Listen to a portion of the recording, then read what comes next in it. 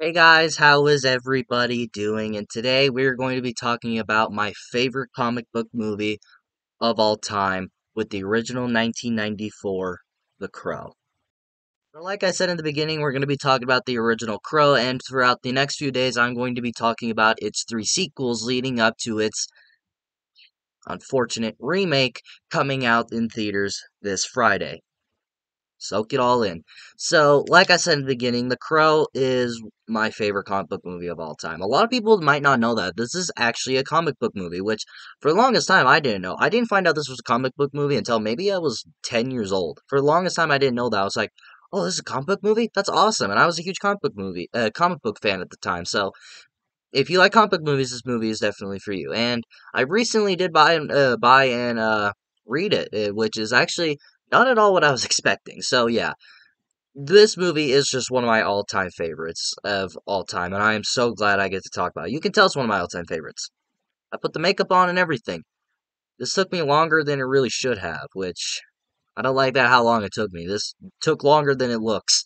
But uh, yeah, I am so glad I finally get to be talking about this movie, and um, the this is the only Crow movie I've seen. I have not seen the sequels. I have refused to watch them for many years, but now I must take my virginity away from that and finally check them out whenever I get to them. But today, we're going to be talking about the classic, The Crow. Starting off with my positives on The Crow, and one of the reasons I think this movie is so popular and so beloved is because of the performance of Brandon Lee. For those of you who don't know well, for some reason, or if you're just now finding out about this movie you didn't know the history, is that Brandon Lee unfortunately died on the set of The Crow. Apparently, um, I don't know how this really works. I don't know the backstory on it, but apparently there was a prop gun and there was a real bullet, or they didn't take the safety precautions on set, and the gun, unfortunately, uh, there was an actual bullet in the gun, and the gun, unfortunately, someone shot it at him, and unfortunately, he died, and it shot him, I believe, right in the abdomen I believe they keep saying, and he got shot in the abdomen, and he unfortunately died in the hospital while shooting the crow.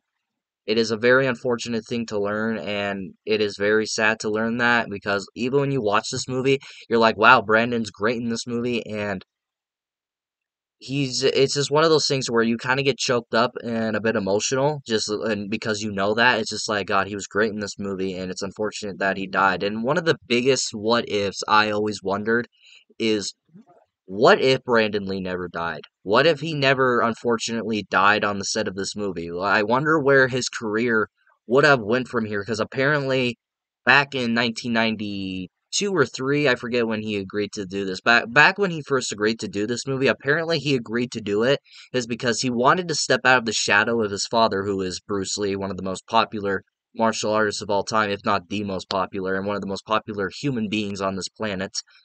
And he wanted to step out of that shadow and try to do new things. He wanted to do something that was outside of that, outside of his comfort zone in a way. So he decided to do this movie, and I absolutely love him in this movie just from his performance. He's great, and seeing how good he is in this movie and just seeing how successful this movie ended up becoming, I always wonder what if his career would have looked like. He was already a big name in Hollywood. It's kind of it's kind of similar to Heath Ledger, to where Heath Ledger was already huge name in Hollywood, but after The Dark Knight came out and his brilliant performance as the Joker, I've always wondered what his career would have looked like from that. Maybe he would have gotten more Oscar-winning roles and all that. But I've always thought that about Brandon Lee in this movie. It's like, what would his career would have looked like? What uh, what kind of a star would he have become? What kind of movie star would he be today? And this movie just proves how good he was from that. But moving from that and unfor- and that unfortunate tragedy, just uh, Brandon Lee himself is just great in this movie. I really love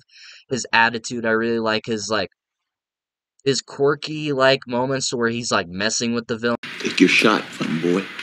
You got me dead bang like when Fun Boy shoots him through the arm and he's kind of like laughing maniacally and he's just looking through his hole and he starts laughing and just heals up and he's acting like it's nothing.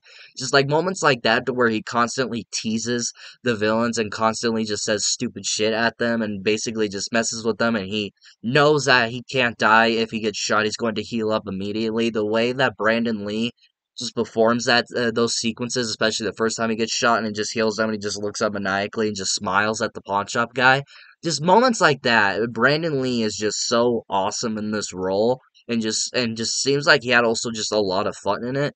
And what I did like about uh, about his performance too is that he did try to step out of his father's shadow, but there are moments here to where he was uh, still able to do some kung fu moments, especially the scene, uh, mostly the scene where he goes up to the villain's hideout and uh, he just fights all the people there. He kind of does kung fu moves on the table when he when he's fighting people. He does some of that, just like a little moment like that in this movie. But Brandon Lee, he was absolutely amazing in this movie, and I've always wondered what if, what would this franchise look like, and what would a Brandon Lee look like today?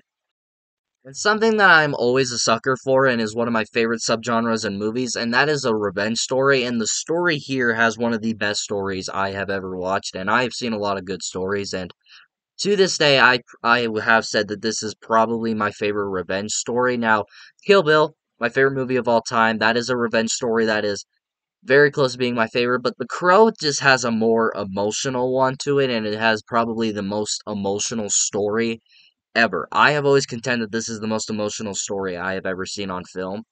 Now, there's probably a lot better ones out there, but this is the one that I always get choked up about watching. And just seeing the story about a man named Eric and his fiancee, uh, Shelly, they it's the day before their wedding. It's the day before Halloween, and uh, these three guys they break into their home, kill Eric, and unfortunately rape and kill his fiancee Shelly. And before he gets thrown out of the window, and one year later he comes up out of the grave for revenge against these three men, not three men, four men that unfortunately took his life and his fiance's. And throughout the entire movie, it is a brilliant revenge story, and it is just told awesomely to where we have seen great revenge tales and great revenge stories, but nothing ever like this to where you I don't think I've ever seen a revenge story to where someone comes up out of the dead to kills the to kill the people that wronged him to where at this point a revenge story is very cliche in today's world because we get a bunch of those someone's wrong someone uh, someone someone's loved one gets killed so they go out and they get revenge on them thanks to Taken but uh, I just always felt this movie had a good, I uh, just the story and that comic just had a good idea of telling that story. Both the twist on it with the is that the guy who was actually looking for revenge is technically a zombie. He's technically a dead man. But I just absolutely love this story. I'm a huge sucker for revenge stories. It's one of my favorite subgenres in film, and this movie just has pro- it has the best revenge story I have ever seen.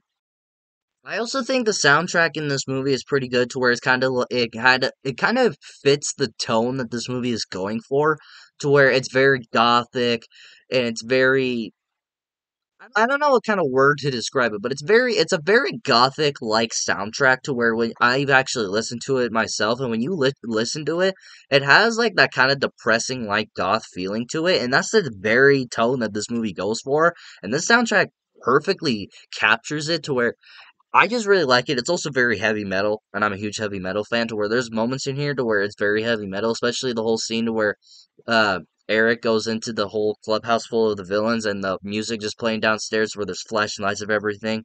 That is always that, that song playing during that sequence. I, I can't help but just jump up and down and just party. And I and I always thought I wish I could be there. I really wish we had clubs like that here. But we don't. my town sucks. But yeah, it's just a cool soundtrack. I'm a huge heavy metal fan, and I and I really thought the soundtrack just really captured the tone that this movie was going for. And there's also a Nine Inch Nails song on the soundtrack. I like Nine Inch Nails.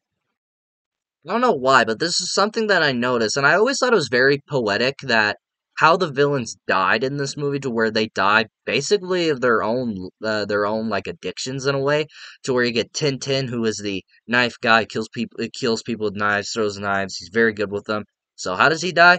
Well, Eric takes all of his knives and he just stabs him in all of his major organs. Try hard. Try again.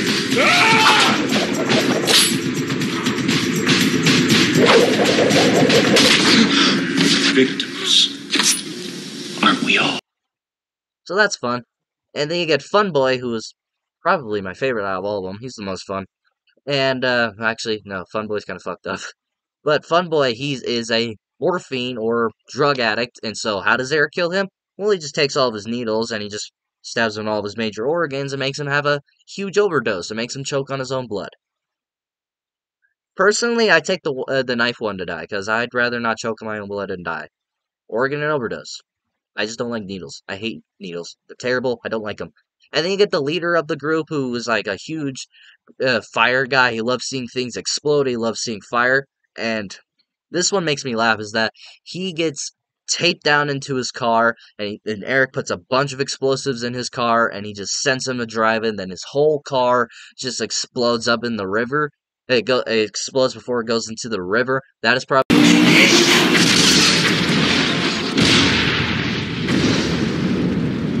probably the best kill in this movie and probably the best villain death in it. I really like that.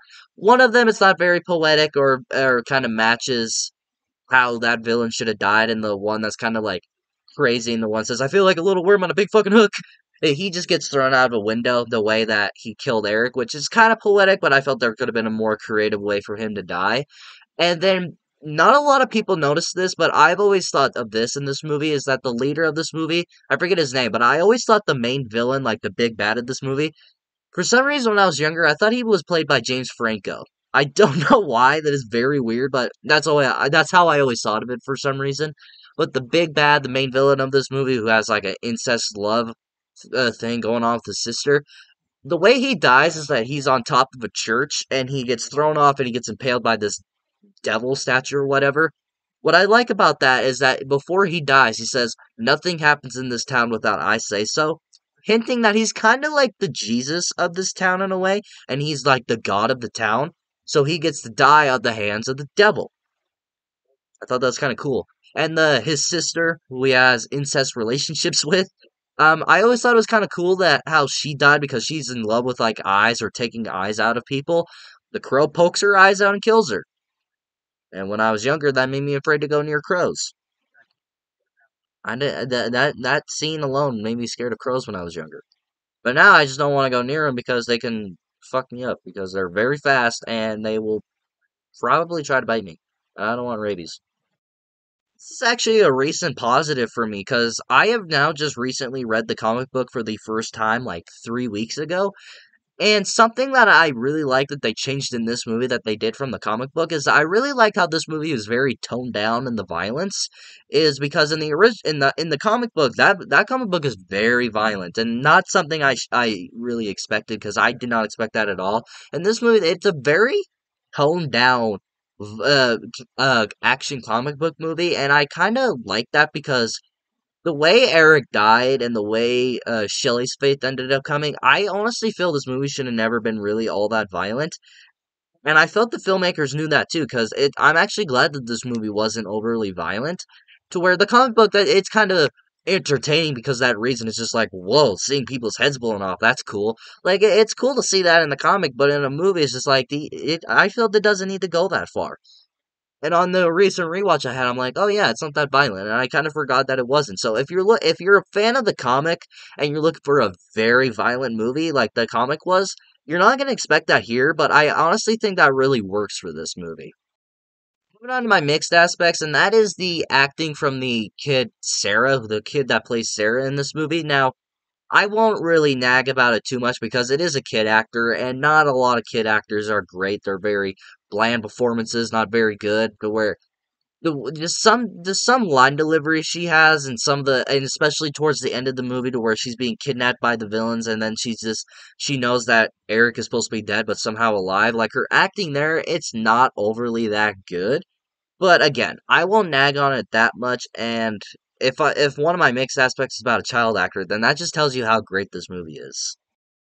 Moving on to my negatives, and it's a very small negative, is that I do think some of the effects in this movie don't age very well, especially scenes to where people are like getting thrown out of a window and they're like doing this against a green screen to where you can really tell.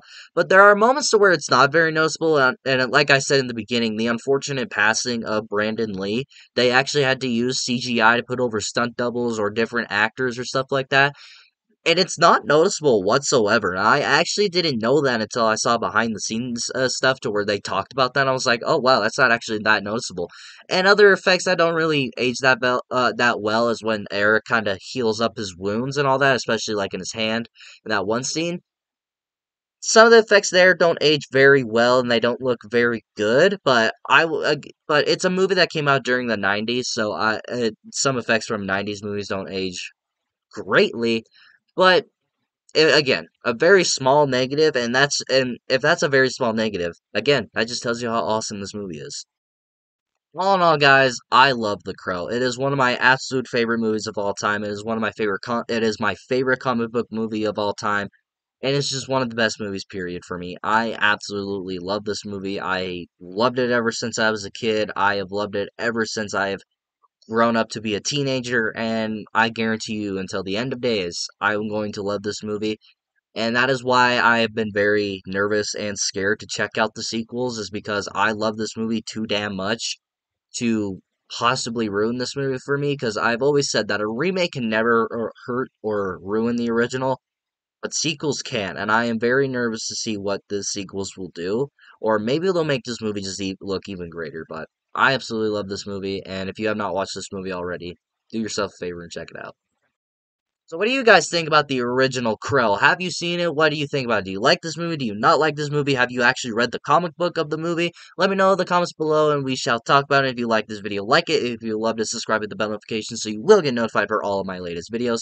And of course, until my next video, see you all next time.